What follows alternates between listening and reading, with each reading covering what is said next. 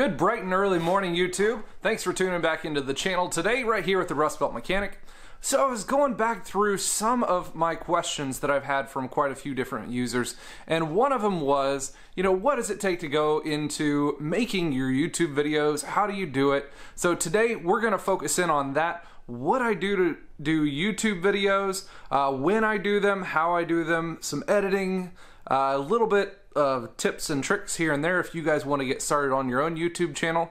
It may not be as flashy as you guys think, but this is how it works, guys. Stay tuned.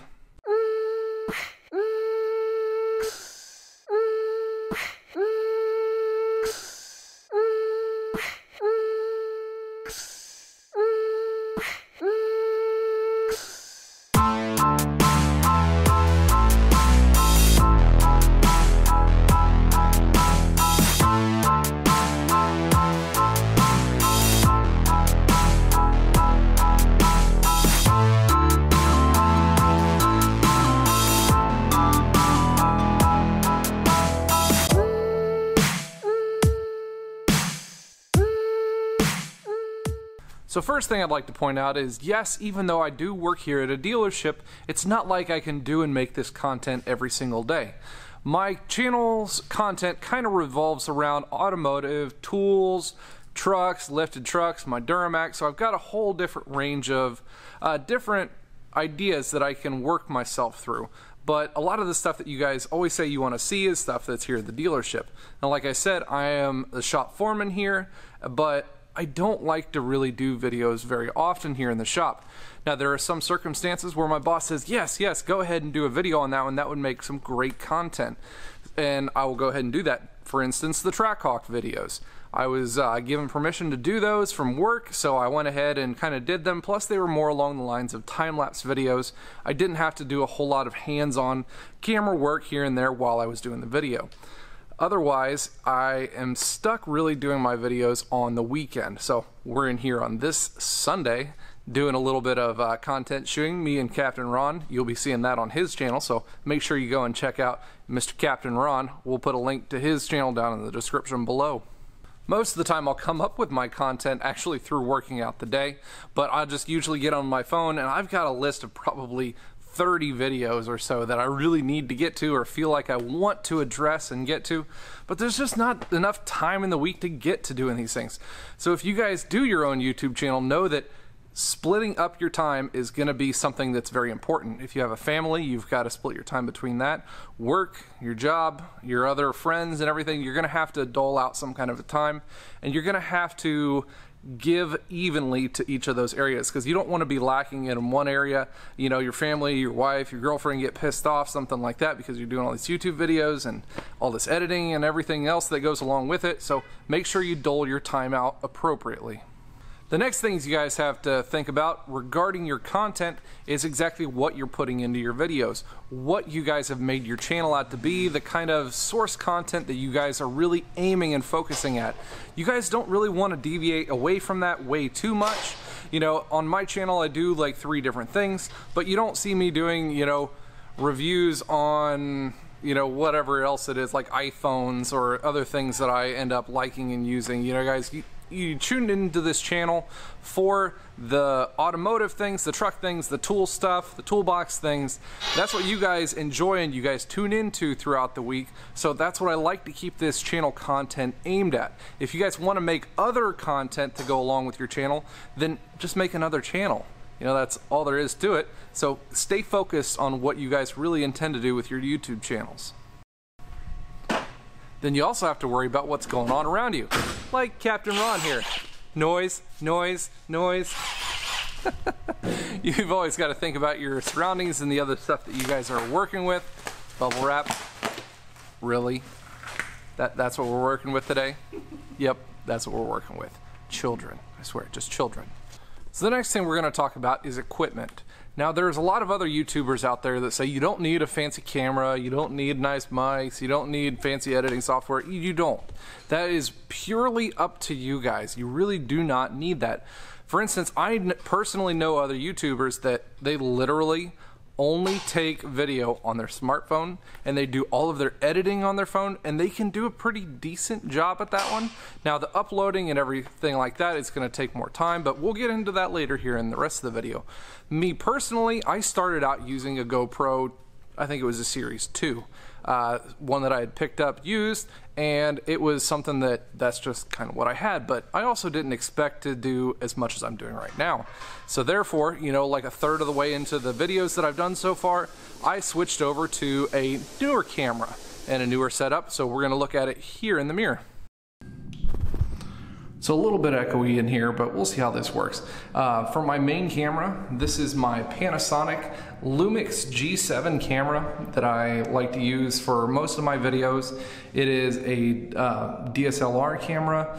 Uh, I use a Rode microphone as you guys can see here with a little cattail on it because a lot of the things that I like to do are outside and it's a lot of other ambient temperature as well.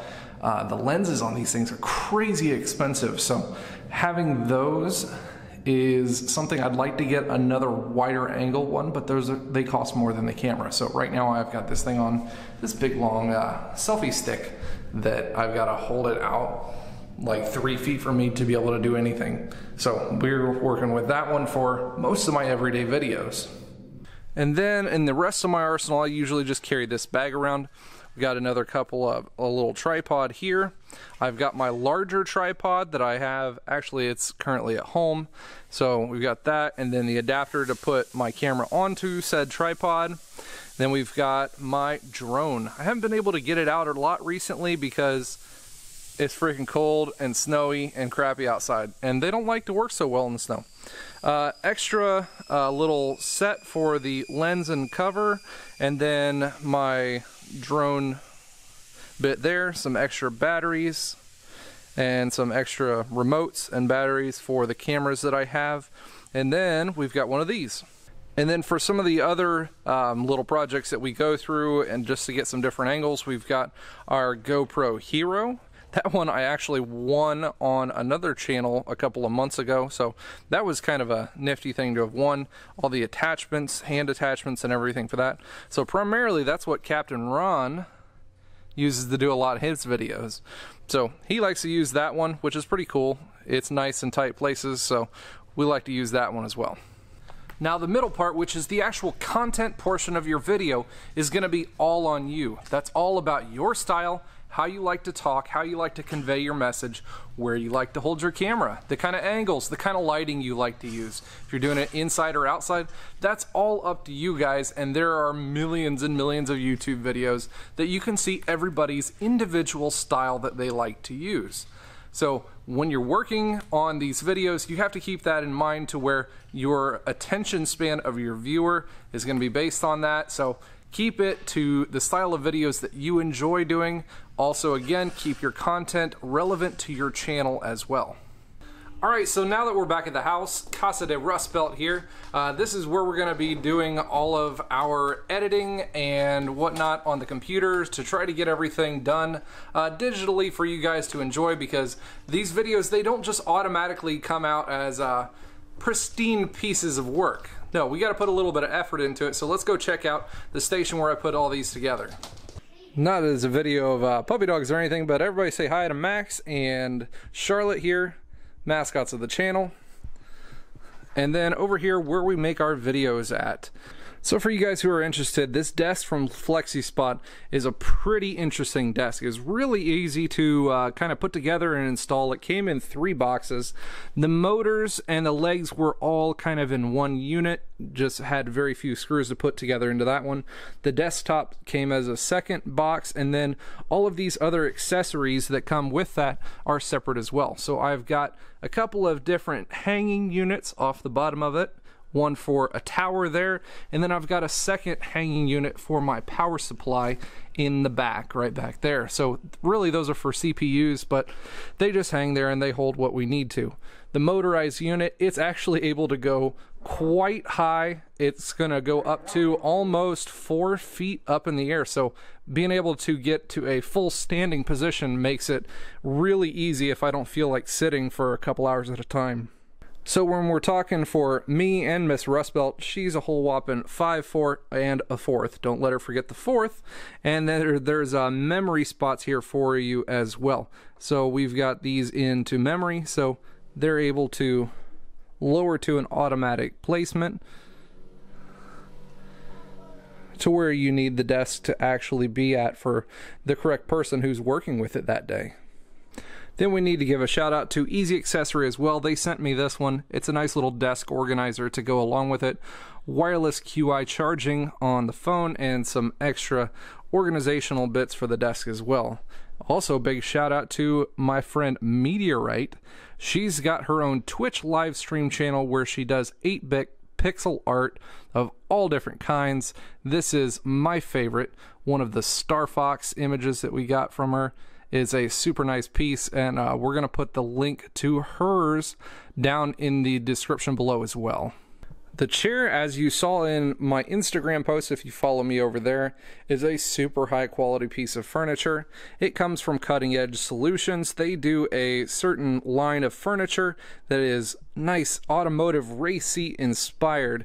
You got the nice leather race seat the tire tread in the arms here fully adjustable on those up and down.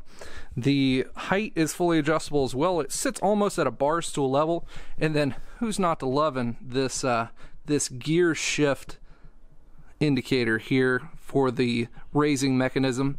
Plus we have the nice coil spring looking to the bottom and the footstool looks like a nice 70s steering wheel also and all this thing is a really awesome piece of furniture. I would definitely recommend that one to anybody. Again, the link to that one to a Cutting Edge Automotive Solutions site is going to be down in the description below. So here, look into what we're using on our computer. Have a seat in this nice comfy chair. And we've got our Premiere Pro app open, the program here on the computer. And it's always nice to have a look at Star Fox looking over you.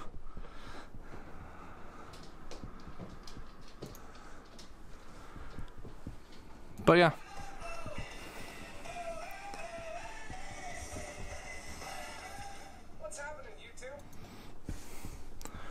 These things don't come together really quick, but it's not too bad when you've got a setup like this one.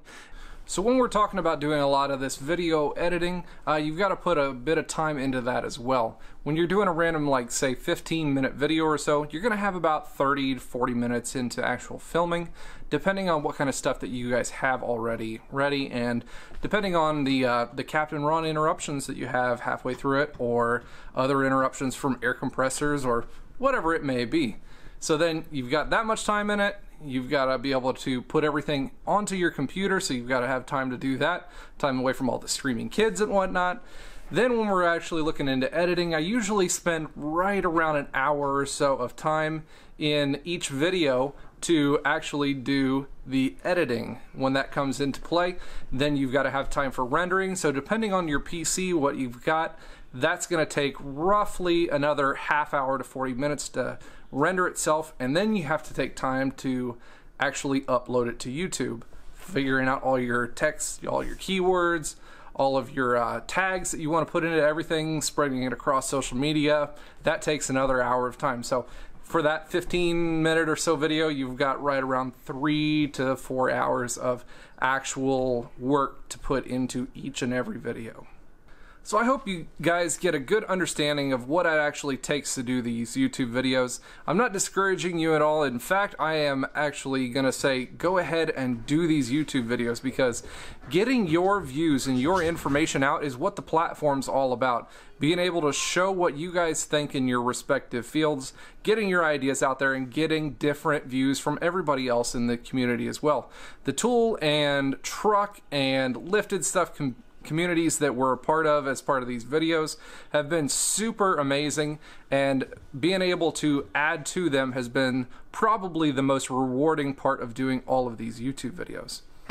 Well guys, that's about all I've got for you today. If you like the content like this, make sure you give a thumbs up to it. Make sure you turn on that bell notification so you get notified of when I come out with cool and awesome new content like this one. As always guys, just remember, you stay awesome.